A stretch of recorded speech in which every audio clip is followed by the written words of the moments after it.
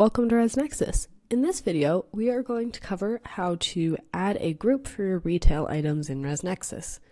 Once you've signed in, you will search for your retail item settings, and once you're in there, you will see all of your existing retail items. From here, you can create a new one, or you can select the quick edit option.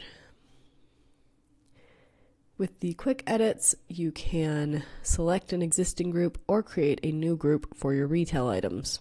If you don't want to create a new group that way, you also can create a new retail item, and while you're creating that, you can create a new group for it, and that group will become available on your drop down list to add other items to that group.